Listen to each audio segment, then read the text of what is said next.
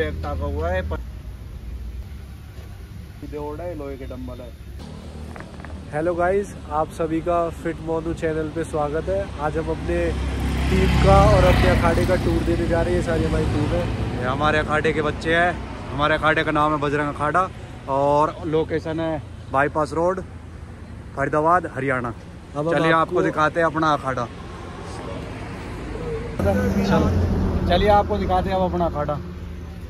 चलो चलो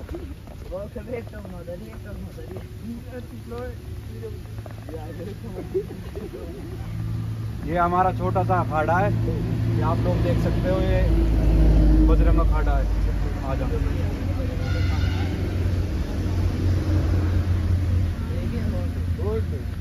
पब्लिक बहुत है ये हमारे बजरंग बली महाराज है। आपको दर्शन कराते बजरंग बली महाराज के। जय श्री राम जय श्री राम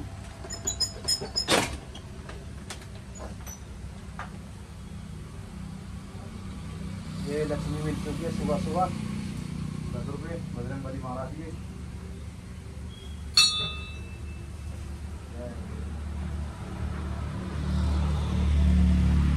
और अब आपको दिखाते हैं अखाड़े पे क्या क्या चीज़ होती है। देसी वर्कआउट किसे बोलते हैं?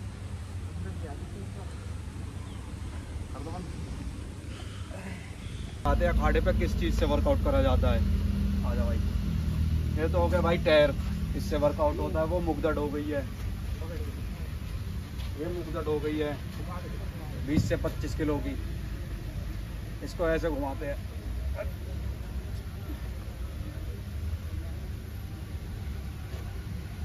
ये होता है देसी वर्कआउट ये हमारे अखाड़े के डंबल हो गए, वो हमारे अपने हाथों से बनाए हुए डंबल है, ये खरीदे ओड है लोहे के डंबल है। इसमें हम अपने बादाम पीसते हैं कुंडी सोटा है। इसमें हम अपनी डाइट बनाते हैं देसी। ये हमारे देसी फ्लैट बेंच है ठीक है भाई? और ये हमारे अखाड़े पे रस्सा है। ये रस्सा है। और इसको बोलते हैं पुली रस्सा। नज़दीक लेगा भाई? आवाज़ मज़ा आएगी ना?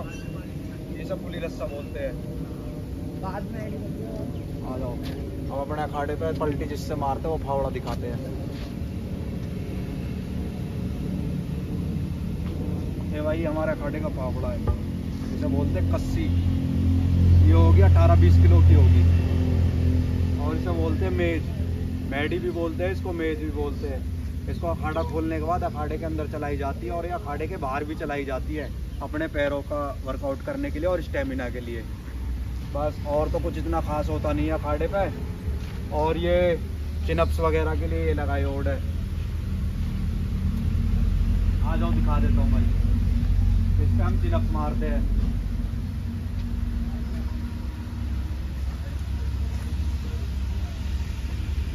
मारते हैं हैं और ये मंकी वॉक के लिए लगाई ओड है। मंकी वॉक देखिए आप लोगों ने, नहीं देखी तो दिखा देता हूँ। ठीक है भाई? चलो।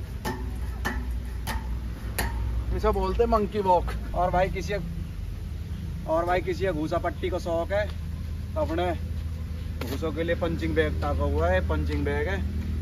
बिना ग्लव्स के करना मत ना, नहीं तो हाथ टूट के हाथ में आ जाएगा।